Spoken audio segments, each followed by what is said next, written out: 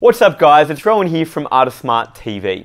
Now, the HSC is one of those challenges where when you get an assessment back, particularly early in the journey, it can be really disheartening and it can honestly feel like you know the whole HSC screwed, that you just want to quit.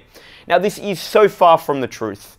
Um, you know, time and time again, we see students dramatically transform their results uh, and take a, a poor result and end up turning it into an amazing result that enables them to get their goal ATAR and entry into their dream course. And so today I'm going to be actually chatting with Maddy, a student who did just this.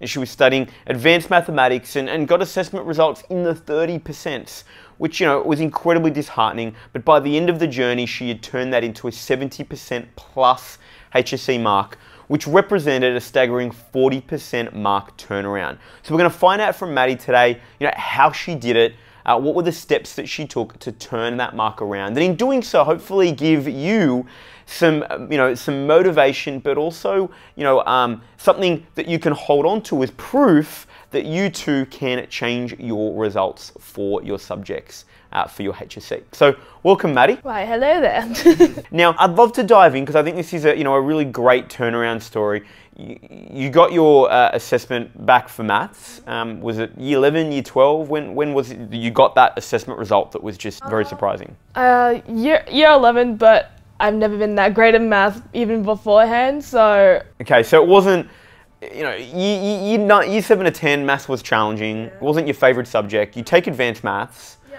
You then get this assessment result back. What was the result? Uh, first one was about, I want to say 38. I want to say 38. 38. Wow. Okay. And so you get this 38. How did you feel when you got it? Not great.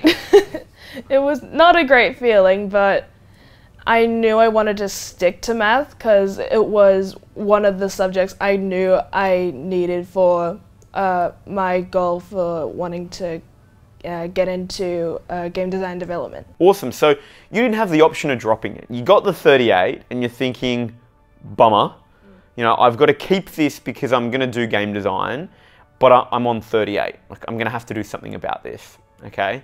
So, um, what did you do? You got the 38. What did you do? What were the first things that you decided you needed to, to take action on to try to turn things around? Uh, at first, I just like I, I as long as like I completed the homework, I did some additional like questions that were similar to the exercise we did, but I thought I needed I needed to do more, so I came to Art of Smart, went to like the the lessons about every Saturday, and it really helped me a lot because I like uh, I went to a class, so there was like a couple of people that are in the same situation as me, like getting like lower marks, but they also helped me get better because they were like better in some topics than I was. So just to, to clarify there, so you jumped in and it was a, a class led by Tom, I believe. Yep. It was a small advanced maths class.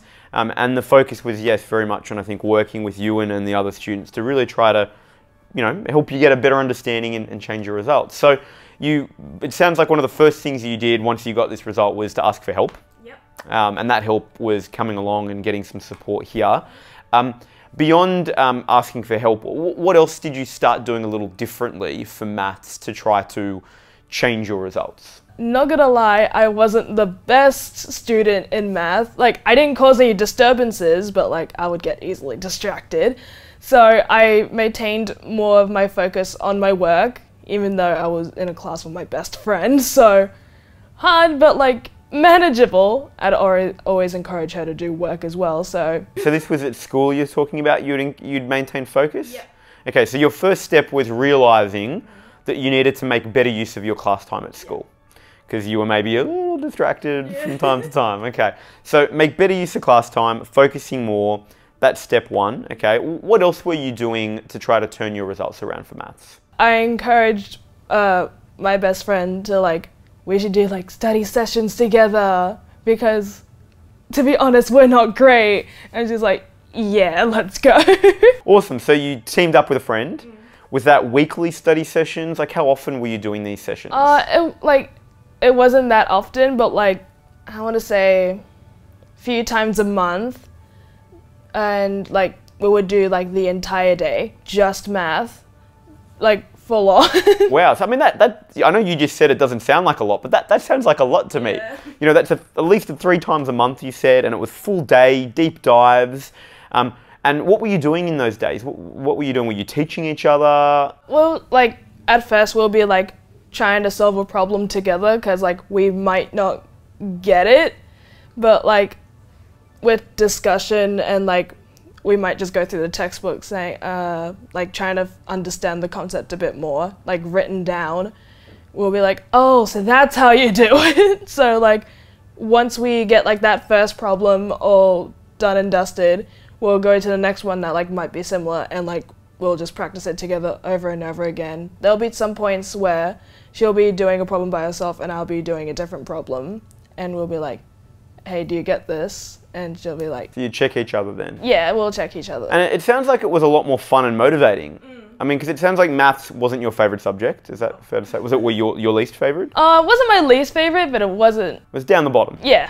Yeah, and so it sounds like by uh, studying with a friend, it made it more motivating, uh, more exciting, um, and it sounds like you kept each other accountable on those study days. Is that right? So if you got distracted, would your friend go, "Come on, Maddy, you know, what are you doing?" Let's well, it's kind of vice versa. I would keep her on track. yeah, of course, yeah, that's what I'm assuming that, that you would both keep each other accountable, definitely. So then you did these study days and study sessions with your friend. Mm-hmm. We've talked about better use of class time. What else were you doing to help turn your maths results around? well, like besides working with a friend, I would work by myself a lot because you can't really bring a friend to an exam. Like What a what a shame. I know, I wish. Um, but I would do a lot of work just by myself, like getting like some questions done, like dedicating some of my time to math, like to just benefit me. awesome. So you would actually be, and that was going above and beyond the homework that you were given from school. Okay, because I think that's what we highlighted. Your first approach was just doing the, the minimum homework from school, didn't quite work. Okay, so then you've taken on this approach of well, I'm going to have to go above and beyond, and so you were then doing your own independent work outside of school homework. What were you doing in that independent work that you were doing? okay, so when we get set homework, we're just given like we might be given all of it and then that might be like a little like challenges exercise that I, I would do because I'm thinking eh like I wouldn't usually do it but why not I got time So you would start doing the more challenging questions, in essence, like these little extension challenge questions. Um, and so it sounds like that was a key thing that you started exposing yourself to, which you weren't doing before. Is that right? yeah Yeah, awesome. Now, um, you know, you were in a class with Tom. How, how did being in the class with Tom for maths at Art of Smart help? uh, it was a lot of fun like his he brought a lot of energy and passion to math which I've never seen in any other person Wow, that's awesome. That's great to hear. He's very passionate about math, that's for sure. So, and uh, so Grady, you know, uh, he brought all this energy and passion. Uh, How did that help you? What, what were you guys doing in the class that helped you? Like, he just made the class a lot more fun. Like even when we're like doing work, he'll be like, "Okay, for this certain amount of time, you're gonna be doing a solid like a solid amount of work," and uh, like he'll come around help us. But like there were fun times too. It wasn't all like Grind. It was. It was. Yeah. there was a bit of like fun. yeah. Yeah. Yeah. awesome. So then, and it sounds like what you were doing in the class, just from what you highlighted, was it sounds like Tom was really trying to expose you to questions, challenging questions, and put some timing, timed conditions around it. Is that what you guys found that you, you, you were doing in the classes? Uh, it wasn't really like he would say, like do th- like do work in a, this amount of time. Like we could go at our own pace, which I liked. I didn't feel rushed. I didn't feel like stressed to like complete it. I took my time to figure out what the question was asking me, and like went step by step by myself, like how to like how to do it. And then um, in the lead up to your, you know, your trials and your exams for maths, um, you know, what, um, what, what sort of preparation were you doing? I would go to like uh, my uh, what do you uh, common room, and This is at school. yeah, this is at school. So some afternoons I decide to like do a bit more questions and yeah, I'll just do like extra work if I had time after school. And this was, uh, this was particularly for your trials or your HSC? Because obviously HSC you've got STUVAC and you've got holidays. Was this more before your trials? This was before my trials. Before uh, exams, it would be like I wouldn't I wouldn't do as many questions before the exam because I knew that would just like stress me out. So I'll try to like calm myself a bit and like and if if I feel up to it, I might do like a couple of questions. I'll be like, "Oh yeah, that's right." Or like revise the like concepts. Okay, so it sounds like you've got this approach then that you sort of did where you would do past questions. Is that correct? Like you're talking about past HSC questions when you were saying questions. You would try to do some of those every day for, you know, an hour or so right? And then in the immediate couple of days, or maybe the immediate day before an exam, counterintuitively, it sounds like you would stop doing questions because you wanted to then reduce the stress levels that you were experiencing. Is that right? Yeah, because like I I have a couple of friends who can get like stressed out before an exam and it doesn't look fun. So like I would just keep myself in a in a good state of mind, ready for an exam and just try my best. And that's fantastic. And so, um, you know, to, to conclude this story, you know, you're now you've now been accepted into what degree at university? Bachelor of Game Design and Development in Macquarie Uni. Which is your goal degree as well. Is that correct? Yep. So well done. And so you needed advanced maths to get into that degree. You did it. You got through it. You turned your marks around. You ended up getting, you know, a, a Band 4 70% plus mark, which is fantastic for for maths. And it's meant that you can now do your dream course, which is really exciting. So I know, uh, you know, we're all really excited for what you know the degree is going to mean for you. Um, do you have any final feedback you would like to share? Any advice for a HSC student who's struggling with advanced maths? I say just dedicate more time to math because it's very hard to get used to because there's a lot of work, there's a lot of concepts you have to go through. I just say exposure and the motivation to do math because I know it's not and uh it might be some people's favorite. I know a couple, but like it's kind of hard to get into math. Not gonna lie. Awesome. So simple, simple message at the end of the day: get motivated, do more. Pretty much.